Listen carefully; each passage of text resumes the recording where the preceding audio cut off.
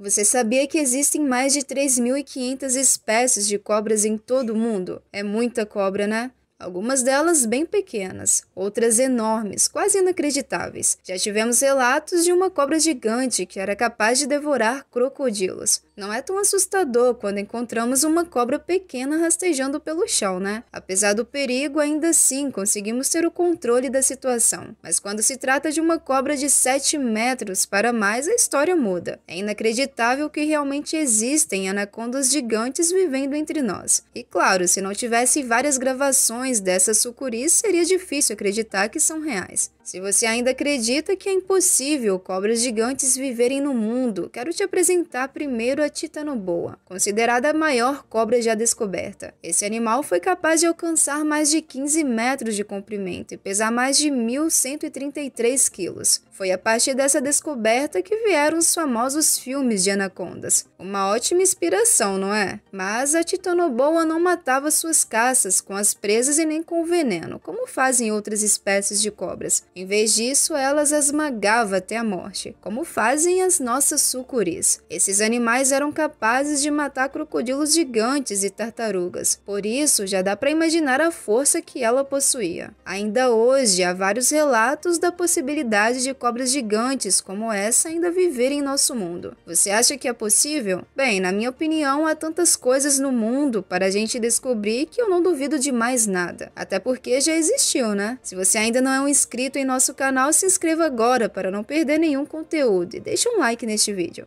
Recentemente foi postado um vídeo na internet que recebeu milhares de críticas e também dúvidas. Veja o vídeo agora. Segundo informações, ele foi feito em um parque de animais selvagens. Um turista menciona que estavam fazendo um passeio e quando foram voltar novamente para o automóvel, essa sucuri gigante estava enrolada nele. Bem, todas as pessoas em volta parecem não acreditar no que está vendo e como é possível existir um animal desse tamanho. O que você acha sobre esse vídeo?